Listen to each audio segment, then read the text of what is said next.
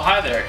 My name is FamilyJules7x, and you've stumbled upon my studio tour video. I hope you guys enjoy. I'm going to show you guys around my new San Diego studio. No, no, no, stay there. I'm going to I'm going to just transition, right? You know. So here it is. Um, it's a lot bigger than my other one, but I got it uh, because none of the other people I live with, RichaadEB or Jonathan Young, wanted the room with no. Ventilation. Oh, I didn't want the room, right? Well, no, you didn't. You, there was no ventilation in here. Uh huh. Shut up. So walk with me. Uh, while we're walking to my. Too close to the camera. The most important part of being a FamilyJules7x guitar is the guitar. So here are my guitars. This is my Ibanez uh, Sound Gear bass. It's a five string. Um, I actually off the top of my head, it's like a 505 or something. I don't actually know all the numbers and shit.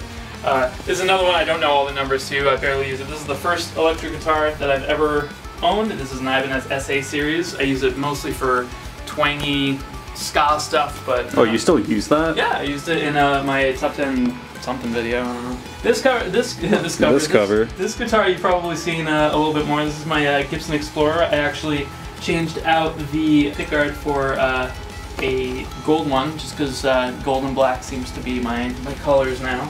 So I Nice. thought that would look cool. Um, I keep this guitar mostly in drop C. Uh, this is my probably my favorite guitar that I own. It's a Cordoba C7.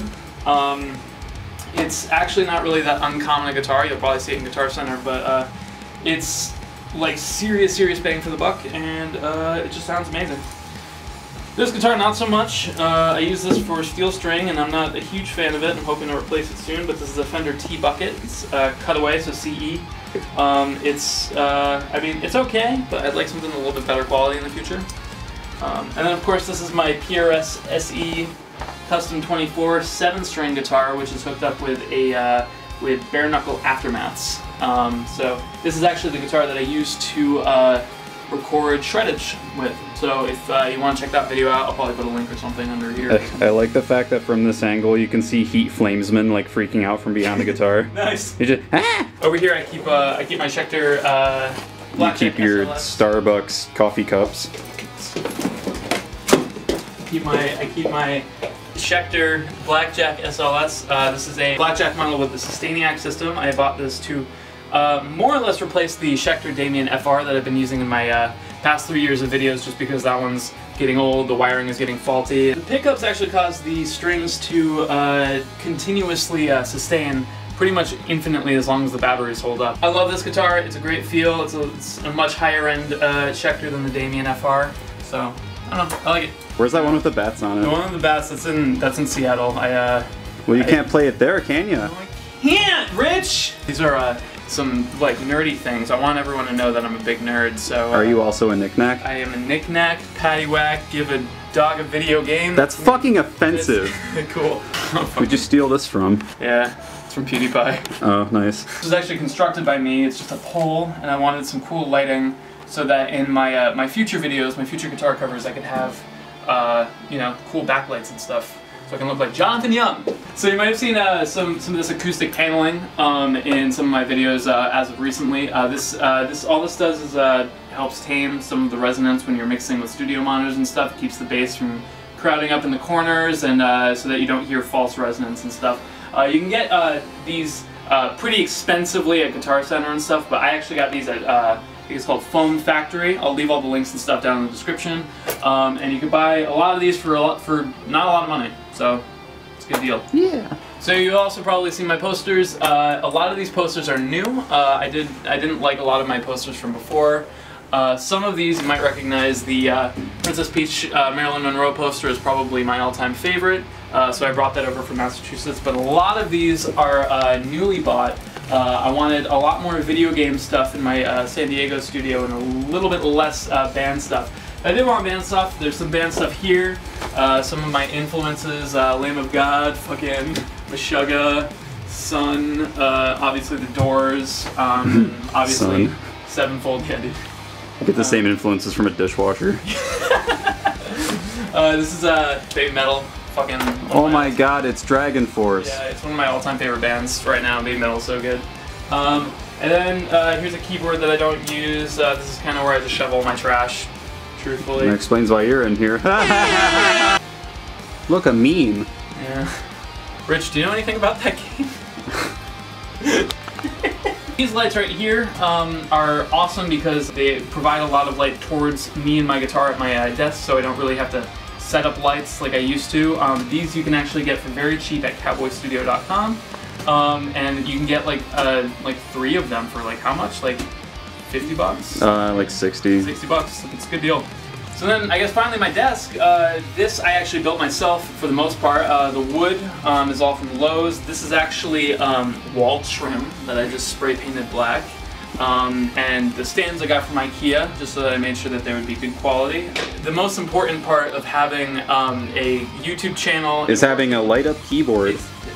Rich, this is my fucking video. Ooh. Rich, this is my video. Stop. The most important part of being productive is having a clean environment and a clean space. You'll see that I have really good uh, wire management uh, all over the. No, don't look under there. Don't look. So I've got a triple monitor thing so that I could have um, essentially, you know, mixing or uh, mixing stuff over there, tracking, and then MIDI stuff, or uh, sometimes sheet music or anything. Um, This video isn't doing it justice really, but that desk is like, what, 80 inches wide or something? yeah, so this desk is is uh, about Fucking stupid. I think it's a eight foot desk. Stupid. Um, mostly, I just wanted to be able to have uh, the three monitors set up and uh, have these giant VXT8s uh, that I got off Amazon for I think both of them for like 750. It was a really really good deal.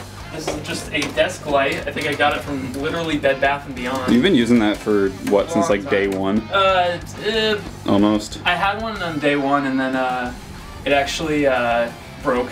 Uh, there's a blooper somewhere of that. Um, and so I bought this one. You can get these at. This is just one of those sun lamps. Um, Bed Bath and Beyond, Walmart probably. Right here, I've got um, these all uh, control different uh, power things for uh, my lights. My lights all turn off from here. These are my monitors, and then these are my studio monitors, my speakers. Uh, one of my favorite uh, things about my desk now is really simple. Um, I have my camera sitting on a desk stand, which allows me pretty much whenever I want to be able to just hook it up and start recording whenever I want. Um, got a microphone on a arm here, and then another microphone. The two. Yeah, I was uh, gonna say, I like the AT 2020 shoved in the thing there. yeah, I don't actually have a have another arm, but uh, hopefully I can buy one soon. Um, here's a broken lens. Um, a lot of people ask me uh, about this situation right here. This is actually a USB mixer that I use um, mostly to send all of the audio from my computer, uh, my interfaces, everything to one thing, then out to my uh, headphones. What this does is it actually also allows me to stream on twitch.tv all of the creation of my covers and stuff. I do of course have uh, the Axe-Fx uh, 2 XL Plus. Um, I have been using this ever since uh, Necrodancer. Um, I saved up my allowance for a very, very, very long time to be able to afford that. This is my Line 6 uh, Pod HD Pro. Um, I was using this for a while at the end of my uh, three years of weekly videos. Uh, I'm still going to be using it for live shows and stuff, um, but otherwise it's, it's a good fail-safe for uh, when my Axe-Fx dies out. Um, this is uh, a MIDI keyboard. Uh, it's just a Acorn Master Key 49. It's not that great. The keys aren't weighted. I definitely want a new one pretty soon. Here is my ocarina from STL Ocarina. They make really high quality. This is this is. It's uh, Was that your theme song? Song of Storms, dude. Oh, cool. Uh, it's in C, and uh, I don't know. I use it for anything. I stop. I use it for anything that I need to do woodwinds. This is cool. Uh, this is actually um, a little uh, pick chest that uh, my friend Holly made for me. Uh, it's a little Zelda chest, and love it to death. Uh, and then there's some trash on my desk. I'm sorry. I'm a slob. Deal with it. So yeah, stop. So that's it. This is my studio. Thank you guys so much for on Patreon for uh, Giving you stop. pizza? Thanks everybody for uh, pledging on Patreon and checking out my studio. Uh, thanks everybody for watching my videos. I'm hoping that my new studio setup will be good for uh, making more efficient videos uh, in the future. So uh, thank you again for watching. Um, how do you end? How do you? How do you end a video like this? Uh.